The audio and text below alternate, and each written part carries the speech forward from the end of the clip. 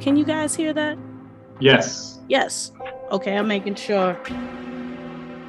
How you guys doing today? Everybody make some noise in the Zoom, even if you're on mute. I can see the claps. Thank you, Jamie. Larry, you're awesome too. All right, guys, let's uh cool. As we bring this meeting to a close, uh let's talk about sustainable development goals. Which everybody in this meeting should know, right? Uh, something like sustainable development goals. Okay, shout out to John. He's the host with the most. Kicking off this meeting like a Zoom chat pro. I hope everybody is feeling okay. Deepa said y'all completed eight sessions as of today, starting from December 2022 and beginning the SDG roadmap sessions in June. A lot of sustainability this group builds and now updates of what's going on from the field. July 15th, make sure you bring somebody to the neighborhood festival and it's also a block party.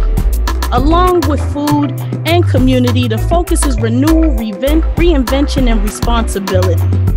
Huh?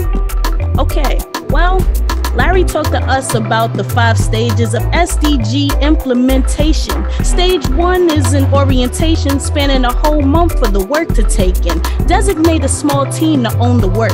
Have the impact assessment tool discussed with the leadership team. Review your strategic plan and identify up to three priority areas that need to be in focus. Determine which equity concerns you can hone in to be integrated in this work, of course. Then present the rationale of this work to the board. Stage to pick a specific program area that takes uh, two months, but the goal is narrow. Proportions on men, women, and children living in poverty and all its dimensions is one of the entanglements within this stage.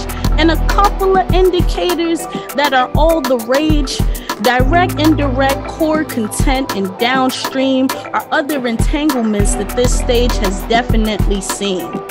Um, once you get to stage three, you'll be breaking the mold because you'll see the foundations work as a whole, convergence and divergence, along with making sure core aligns with seven goals, certainly. No poverty and zero hunger. Making sure quality education is among the community. Also, reduce inequalities, sustainable cities and communities for you and me, and making sure we preserve all the unity. Stage four and five work hand in hand. Combined, you'll be working a two and a half year span. In case you're wondering why I didn't go into depth, it's because I'm just making sure you guys have listened to what Larry said. so, um, as we bring this meeting to a close, uh, let's talk sustainable development goals, which everybody within this meeting should know. We're talking about sustainable development goals. Yeah.